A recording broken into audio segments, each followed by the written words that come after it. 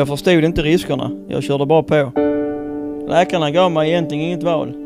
Sluta utsätta dig för vibrationer. Annars kanske du kommer behöva hjälp när du ska knyta skor, knäppa knapparna på skjortan eller kunna hålla i dina barnbarn.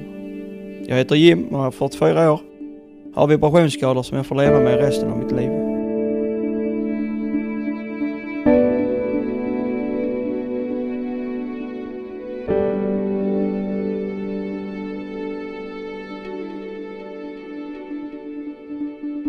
Många utsätts dagligen för vibrationer i arbetet och de val du gör idag får konsekvenser senare i livet.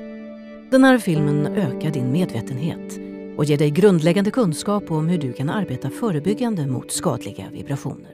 Så du kan göra rätt val idag för ett hållbart liv imorgon. Både på jobbet och hemma med nära och kära. Användningen av vibrerande verktyg och maskiner är stor. I EU utsätts en av fyra arbetare för vibrationer under en fjärdedel av sin arbetstid. Är du en av dem? 37 procent av Skanskas yrkesarbetare har i de senaste årens hälsoundersökningar angett att de har besvär från vibrationer. Vibrationsskador syns inte direkt men kan påverka den som drabbats resten av livet. Under åren har man känt på nätter och på kvällar och när man har gjort vissa grejer som man har blivit både trött i axlar och mm, armarna har domnat väck helt enkelt. Men det har man liksom känt ändå att ja, det är kanske bara en tillfällighet. Men den dagen var det någonting mer. Det var en tisdag efter frukost som jag och Kenneth, min arbetskollega, kom ut och vi skulle slipa och laga väggarna som vi höll på med, som vi hade gjutit. Och eh, jag stod på, jag satt, tog maskinen och sen höll jag väl på en två, tre minuter och då helt plötsligt så först tappar maskinen och har ingen känsel i händerna. Jag känner inte händerna liksom, det är det som händer. Detta är rätt så allvarligt. Sen blev jag remitterad till Arbetsmiljö och hälsa i Lund. Två gånger opererades Jim, men helt återställd kommer han aldrig att bli. Överhuvudtaget är det så att vibrationsskador kommer smygande. Det är ingenting som man får från ena dagen till nästa utan det börjar lite försiktigt men sen blir det värre och värre och det kan bli väldigt allvarligt.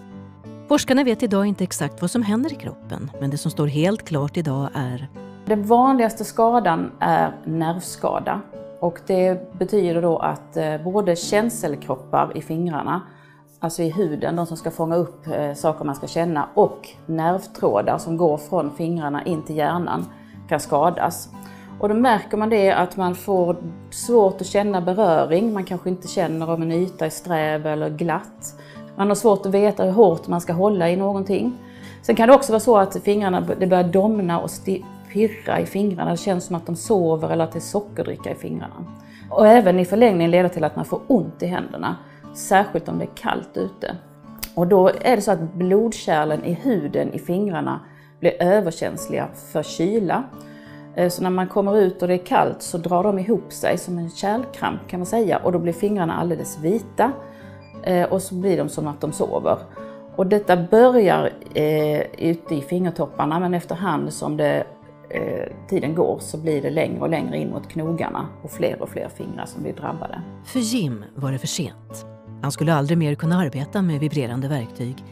Men för många andra är det möjligt genom att använda verktyg och maskiner under rätt begränsad tid varje dag och på rätt sätt. Det viktigaste man kan göra är att se till att man inte arbetar för länge med verktyg som vibrerar mycket. Och då är det ju viktigt att man vet hur mycket vibrerar mina verktyg. Alla verktyg och maskiner vibrerar olika mycket. När du bedömer och räknar ut hur mycket vibrationer du utsätts för räknar du på triggertiden under en arbetsdag. Triggertiden är den tid du aktivt arbetar med verktyget inte den totala tiden ett arbetsmoment tar. Alla verktyg och alla maskiner som används under en dag räknas. Daglig vibrationsexponering är ett sätt att bedöma, mäta och uppskatta den totala mängden vibrationer som du utsätts för under en arbetsdag.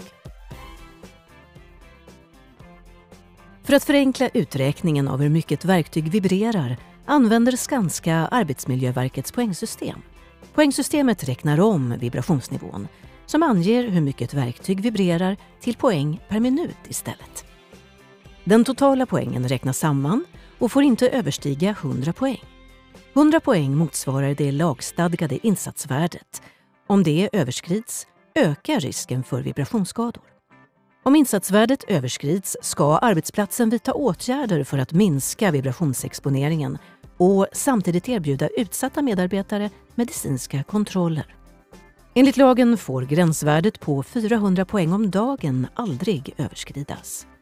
Säg att du under en arbetsdag aktivt använder skruvdragare i två timmar, tigersågen i 25 minuter och vinkelslipen i en och en halv timme. Vad skulle din totala poäng för dagen bli? Skruvdragaren ger 0,3 poäng per minut. Multiplicera det med 120 minuter och du får värdet 36 poäng. Tigersågen ger 4 poäng per minut. Multiplicerat med 25 minuter blir poängsumman 100 poäng. Vinkelslipen resulterar i 1 poäng per minut. Multiplicerat med 90 minuter blir summan 90 poäng. I exemplet blev din totala poäng 226. Det är över insatsvärdet på 100 poäng och du ska ta upp frågan med din chef. Arbetsgivaren ansvarar för att planera arbetet så inga insats och gränsvärden överskrids. Om det ändå sker ska du erbjudas medicinska kontroller. Kom ihåg att reglerna gäller för en dag, inte ett genomsnitt av exempelvis en vecka. Vi backar bandet. Hur tänkte Jim när han berättade för sin arbetsledare Johan? Jag tänkte, men vad, vad ska du lära mig? Det är det enda jag kan. Alltså yrket så. Så tankarna, jag, ja men blev bedrövad. Jim är ingen ungdom alltså, men eh, ändå 40, 43 år gammal var han väl när han fick, eh, fick den domen. Liksom. Och du kan inte jobba med det yrket längre som jag vet att han tycker mycket om. Eh, det var jobbigt, ledsamt. Det tog mig faktiskt, det gjorde det. Efter det som hade hänt Jim bestämde sig Johan för att ta tag i problemet med vibrationer. Och jag köpte in stoppur till killarna som de kunde ha, som de kunde ta triggertiden med när de använde vibrerande verktyg. Och vi jobbar som en grupp där ute och då börjar vi med arbetsrotation också nu då. Vibrationsskadorna förändrade Jims liv. Men de förändrade också hur Johan och andra arbetsledare på arbetsplatsen ser på planering av resurser i projekt som kräver vibrerande verktyg och maskiner. Arbetsrotera så att alla hjälps åt att göra de här jobben som eh, medför vibrationer. Så att det inte är en yrkesarbetare som alltid gör detta. Man låter maskinen göra jobbet. De ska man inte behöva trycka på. Viktigt också att man byter eh, borr när det är utslitet och att man byter klinga när den är utsliten i tid. Man ska ha rätt verktyg till rätt jobb. Prata med maskinuthyraren. Be dem om hjälp för de är proffs till det. Var en eh, bra arbetskamrat och se till så att de använder rätt maskin. Om du vet mer än en yngre kollega, kanske till och med bättre ibland än en äldre, så dela med dig av det. Uppskatta vibrationsexponeringen i arbetet. Riskbedöm och planera arbetsmomentet. Håll koll på din exponeringstid. Aldrig över 400 poäng på en arbetsdag. Välj rätt verktyg till rätt arbetsmoment. Som jag har tänkt eh, många gånger att eh, ja, det går väl. Men eh, det tänket måste man förändra. Attityden på sig själv, att man tänker efter innan man använder verktygen.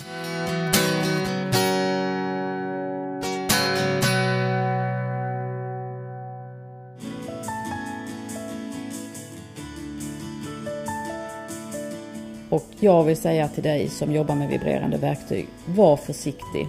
För det finns stor risk att få livslånga allvarliga skador.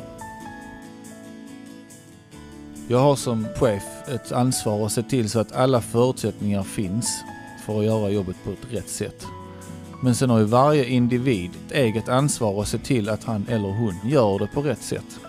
Och för alla är sitt eget skyddsombud. Kunskap är nyckeln. Vi måste ändra attityden och sluta arbeta på fel sätt med vibrerande maskiner. Jobb är ett jobb, men du kan inte lämna vibrationsskadorna på jobbet när du går hem. Du har ett liv efter jobbet. Tänk på det.